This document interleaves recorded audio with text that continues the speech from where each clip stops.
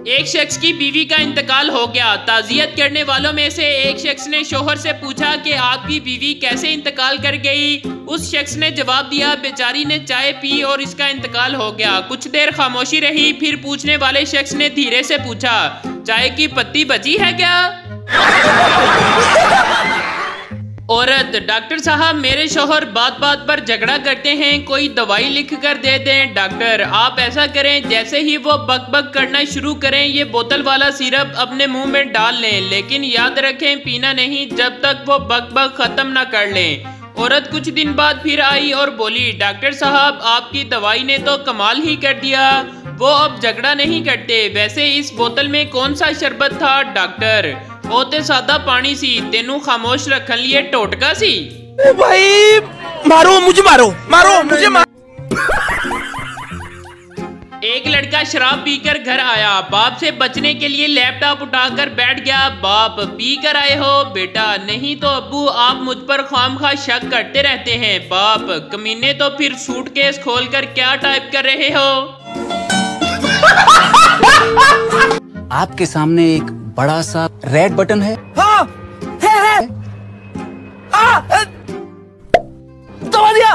आगे बोलो। शेख के घर बेटा हुआ। बेगम ने कहा इमाम मस्जिद को बुला लाओ बच्चे के कान में अजान देनी है। शेख को कलंज पड़ गया कि मौलवी साहब को तो सौ दो सौ रुपए देना पड़ेंगे। सो उजर तराशा अजान तो मैं खुद भी दे सकता हूँ। बेगम ने कहा कि ठीक है फिर दो अजान।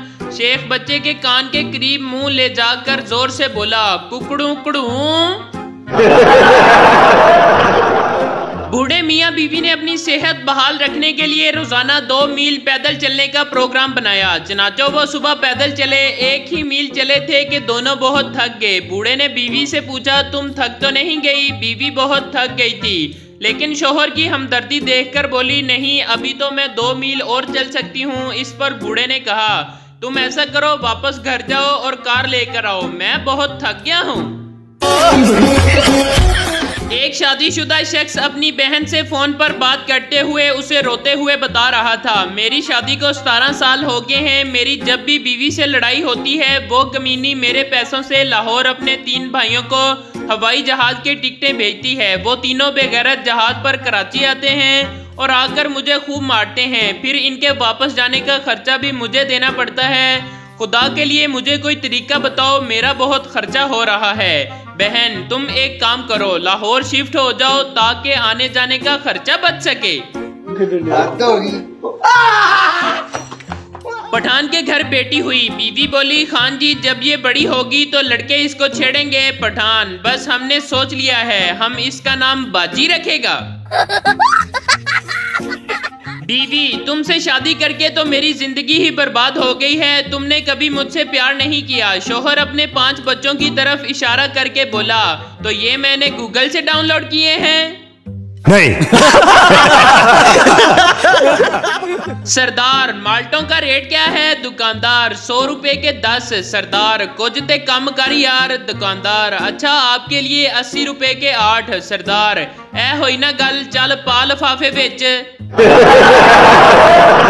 पप्पू ने कुछ दोस्तों की दावत की तो एक दोस्त ने पूछा, आज तू बड़ी पुरतकल्लुफ दावत दे रहा है, इतने पैसे कहाँ से आए तेरे पास? पप्पू, यार मैंने मैच पर शर्त लगाई थी, वो मैं जीत गया तो सोचा हराम के पैसे हैं, क्यों ना हराम जादों पर लगाऊँ?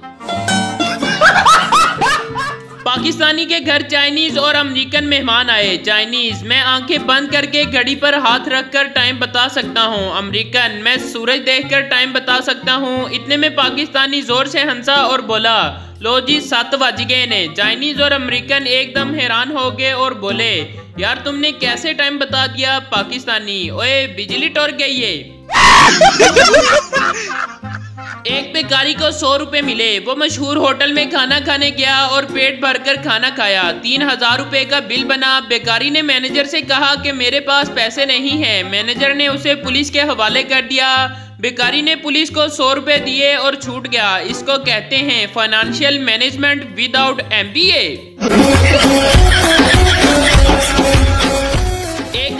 अपने बेटे के लिए तोता खरीदने के लिए एक दुकान पर गया। इसने देखा कि एक पिंजरे में तीन तोते हैं। इसने दुकानदार से पूछा कि दाएँ तरफ़ वाले तोते की क्या कीमत है? दुकानदार ने कहा, एक लाख रुपए। आदमी बोला कि, इसमें क्या खूबी है? दुकानदार ने जवाब दिया कि, ये कंप्यूटर ऑपरेट करना जानता है। आदमी ने पूछा कि, दरमियान वाले तोते की क्या कीमत है? दुकानदार बोला, दो लाख रुपए। आदमी ने कहा कि, इसमें क्या खूबी है? दुकानदार बोला कि, ये इंग्लिश बोलता है और कंप्यूटर भी ऑपरेट कर लेता है। आदमी ने आखिरी तोते की कीमत पूछी तो दुकानदार ने जवाब दिया, पाँच लाख रुपए। आदमी ने हैरान होकर पूछा कि, इसमें क्या खास बात है? दुकानदार बोला, सच्ची बात यह है कि मैंने आज तक इसको कुछ करते नहीं देखा। बस दोनों तोते इसको बॉस कहते हैं।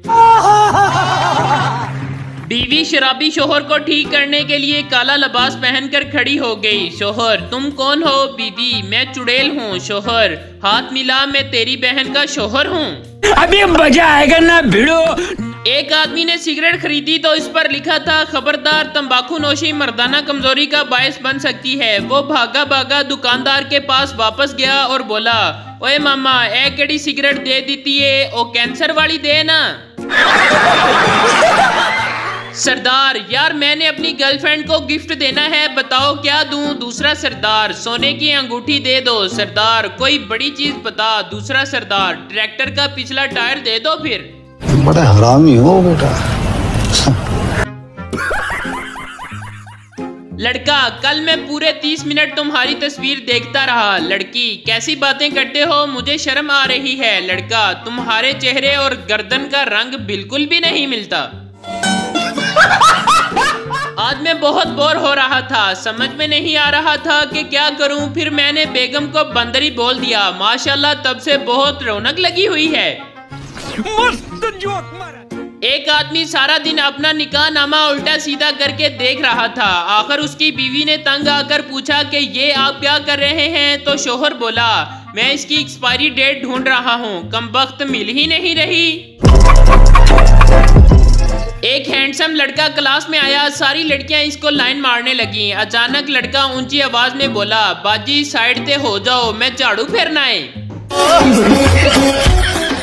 मोहल्ले में अगर औरतों की लड़ाई हो जाए तो दो तीन औरतें ऐसी भी होती हैं, जो पीछे खड़ी हल्का हल्का बैकग्राउंड म्यूज़िक दे रही होती हैं। आहो नहीं आहो, अल्लाह माफ़ करे, बहुत कपत्ती है, आहो नहीं आहो। एक सरदार ट्रेन की खिड़की से बोला, ये कौन सा स्टेशन है? बाहर से आवाज़ आई, थल्ले आके वेख ले, चवला एडा तू नवाब। सरकारी नलके वर्गा तेरा नक है, डड्डू चार्जर वर्गा तेरा मुँह है, सिर ते पग इंज बनी है, जिवें जुआ नु दम दिता होवे, सरदार। वो अच्छा फैसलाबाद आ गया।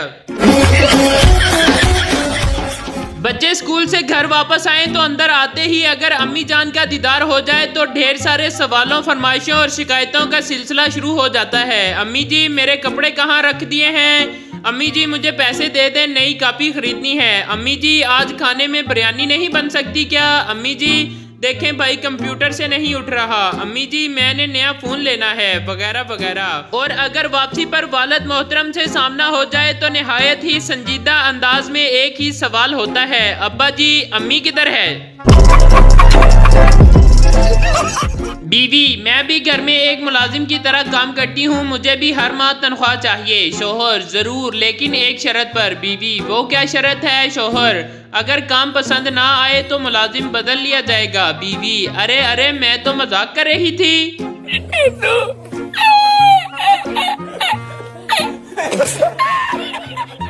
शोहर जिम से एक्सरसाइज करके वापस घर आया। किचन में खड़ी अपनी बेगम से बोला, बेगम, ये देखो मेरे सिक्स एब्स प्याज काटती बेगम शोहर की तरफ़ देखे बगैर बोली, मुझे तो शुरू दिन से तुम्हारे अंदर ऐब ही ऐब नज़र आ रहे हैं। शुक्र है, आज तुम्हें भी अपने ऐब नज़र आ गए। वो स्टूडेंट भी किसी दहशतगर्द से कम नहीं, जो क्लास में टीचर को याद करवाते हैं। सर जी, आज आपने टेस्ट का बोला था? आज OLX पर एक इश्तेहार देखकर बहुत दुख हुआ। मेरे तो आँसू भी निकल आए। लिखा था, निकाह की शेरवानी बराए फरोख्त। सिर्फ़ एक बार पहनी है, वो भी गलती से। जिन क्या हुक्म है मेरे आका? पप्पू, आज से मेरी सारी पढ़ाई तुम करोगे। जिन आका, हुक्म करो, बकवास नहीं। खवतिन शॉपिंग मुकम्मल करके जैसे ही घर पहुँचती हैं, अचानक अपना सर पकड़कर बैठ जाती हैं और कहती हैं, ओहो, जेदे वास्ते मैं मार्केट गई सी, ओ चीज़ थे उत्थे ही भुल आई हैं। बाबा जी कहते हैं, जब जुकाम हो जाए तो हर हरगिज गुस्सा नहीं करना चाहिए, वरना आपका गुस्सा गुब्बारा बनकर नाक से बाहर आ सकता है।